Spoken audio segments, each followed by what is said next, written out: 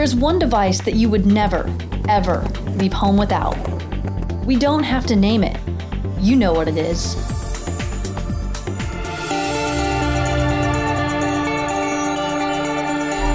You could say semiconductors are the brains behind your smartphone. But new 2D materials could soon make high tech devices even smarter, more nimble, and less visible. What if that same technology that exists in your smartphone could be implanted into anything on your body or in your environment? Instead of just having a smartphone, what if you lived in a smart world?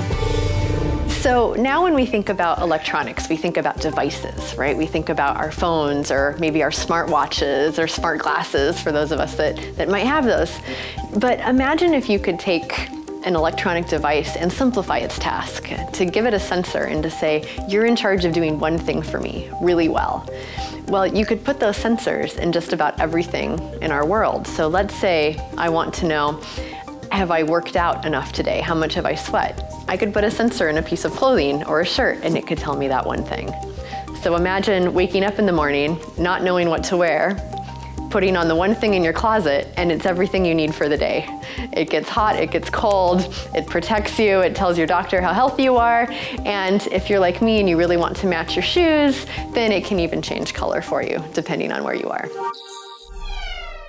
Most materials are three-dimensional in that the connection between the atoms runs in all three dimensions, whereas in a two-dimensional material, the connections exist only within a plane, and so what you end up with there are planes or layers of atoms connected together. First group to actually isolate a single layer of, of atomic carbon called graphene uh, was in England, the Geim group, and they did it in a very surprising way where they took a piece of graphite, which is actually billions of sheets of graphene stacked on top of each other. So you can imagine a stack of a sheet of paper, sheets of papers. And they took scotch tape and taped it to the top, peeled it away, and then repeatedly sort of bent the tape back and forth until they had a very, very thin, thin layer of graphite. What they ended up with is graphene, a single layer of pure carbon that's one atom thick. It's bonded together in a hexagonal honeycomb lattice. It's light and strong, flexible, and non flammable. This discovery catalyzed interest in 2D materials.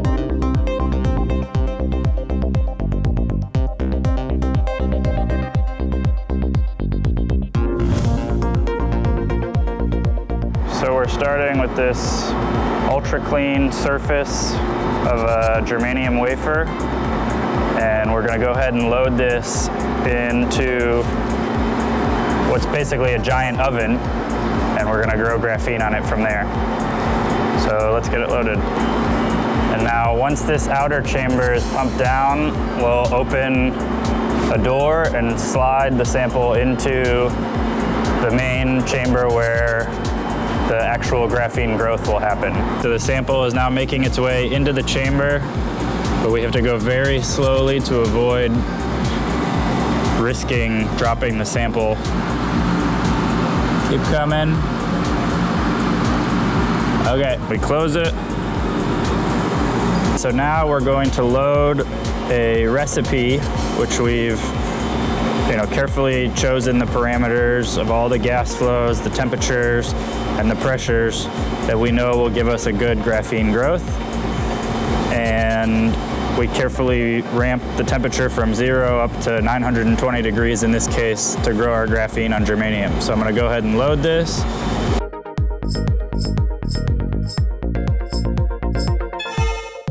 It's one single crystal of graphene on a oxidized copper surface.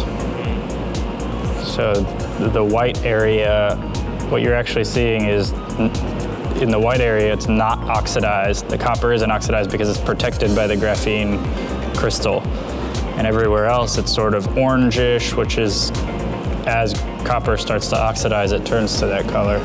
So that's why we can see a single atomic layer of carbon in an optical microscope because we're not actually seeing the carbon, but we're seeing how by being there, it's protecting the copper from being oxidized. And this is several millimeters across and it's a single crystal. So it's one atom layer thick and a couple millimeters wide. Once upon a time, silicon was the king of semiconductors. In fact, they named a whole valley after it.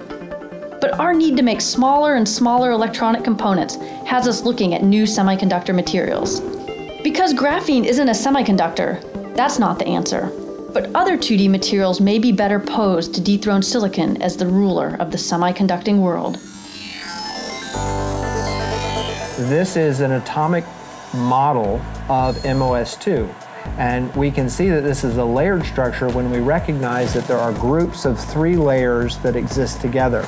The yellow balls are sulfur and the gold balls represent molybdenum. And so it's a sulfur, molybdenum, sulfur arrangement.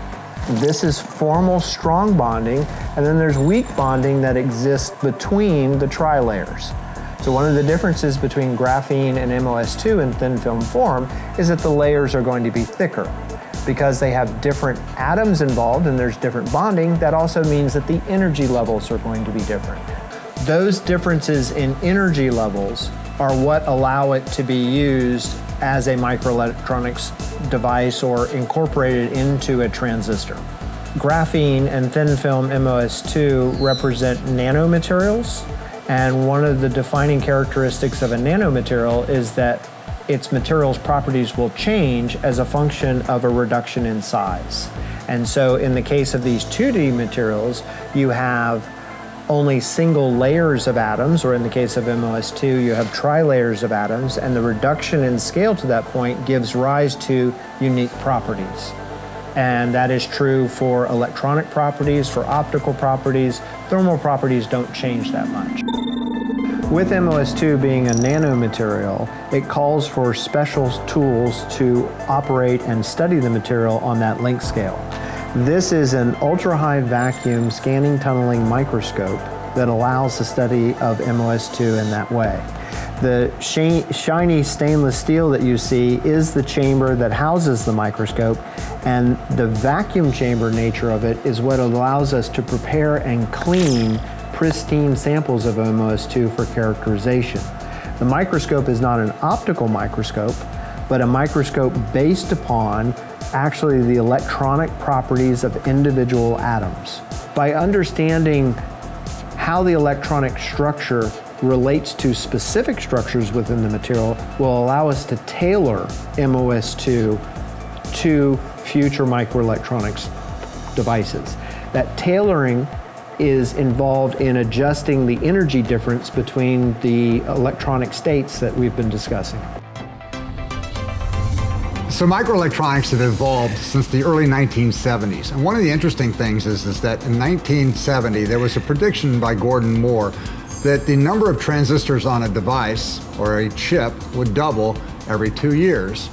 And he had been plotting this up for a few years and he noticed this trend and what's amazing is, is that that trend has continued. And so that's what's called exponential growth. So today, for example, you have a modern, this is a wafer of silicon with each one of these four squares is one Pentium processor. So this is the equivalent of 350 laptop computers. On each one of these four squares now, there is 2 billion transistors. So the transistor is only 150 atoms across. In two years, there will be 4 billion transistors in that area. In two more years, there will be 8 billion transistors in that area. And this is what's meant by Moore's Law. And so this has been a huge driving force for the semiconductor industry. They spend billions and billions of dollars every year trying to figure out how to double the number of transistors on each chip.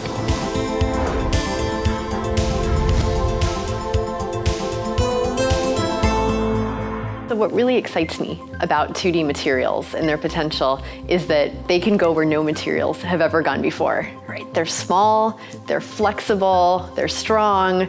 We can put them on anything on our person and in our environment.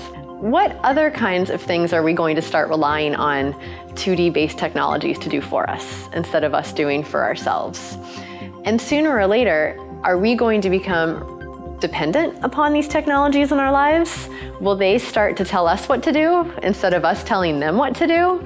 And what happens to human relationships in a world in which technologies are supposedly meeting so many of our human needs? You're going to see it showing up in transistors, I believe, because of the unique electronic properties.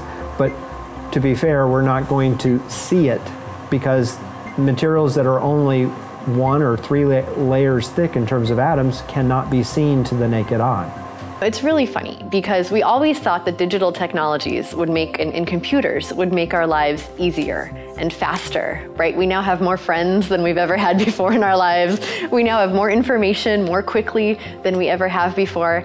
And yet we seem more tired and more overworked than we ever have been before. And so there's definitely a risk that having more technology and more communication technologies in our lives on a daily basis could run the risk of wearing us out rather than helping us. So we have to think very seriously about where we want to use two-dimensional materials for electronics applications in our lives. 2D materials have the potential to build us a smarter world. How do we ensure that they serve us versus us serving them? An invisible material that's going to keep showing up. What we do with it is up to us.